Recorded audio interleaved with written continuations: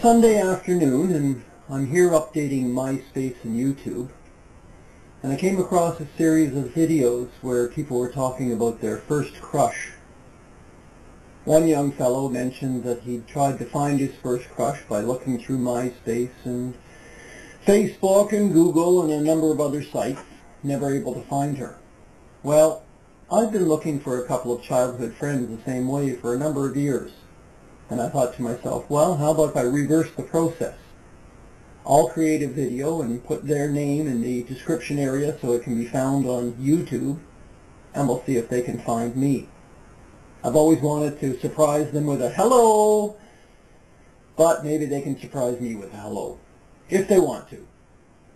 We spent uh, five years together in Lac Saint Denis, Quebec, and I'll put this video up. We'll see what happens.